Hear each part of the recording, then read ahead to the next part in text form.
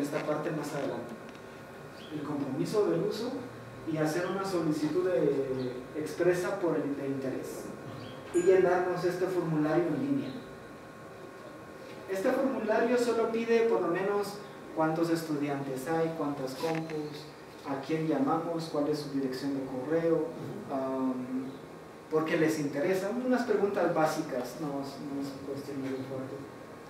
Y desarrollar un plan de uso. ¿Cómo lo van a usar?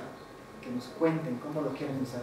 Y por lo menos dos, dos maestros o dos grados que ya tengan por lo menos horarios de uso, horarios específicos de uso, en donde el maestro titular va a ir al laboratorio a dar uso a las compus. Eso, eso es importante para nosotros. Y lo que hacemos en las escuelas tiene cinco pasos. Hay cinco pasos para nosotros para poder llegar a una escuela. Uno es la parte de instalación que ya comenzamos en este momento. La solicitud que todavía no les ha llegado, los compus, la red local, el Raspberry la protección y la configuración. El paso anterior era mostrarles la herramienta, que es lo que vamos a hacer hoy. Mostrar esta herramienta.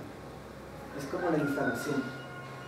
Esto nos va a llevar como, depende mucho de las escuelas. A veces lleva entre una y cuatro horas pero no es realmente no es complicado. Lo que hace complicado su instalación son las compus o es el lugar, no es, no tanto nosotros. Es porque esto va a ser como instantáneo cuando lo veamos. Hacemos una presentación de la biblioteca durante la instalación a los maestros. Solo la introducción para mostrarles qué hay y todo eso. Y hacemos, esto es más una sesión de explicar qué es el contenido o un poquito lo que ya estoy haciendo ahorita. Luego, comenzamos a tener dos sesiones diferentes para aprender metodología de uso. Pero aquí ya depende mucho de la, de la en este caso, de la municipalidad o de ustedes si lo vamos a hacer o no.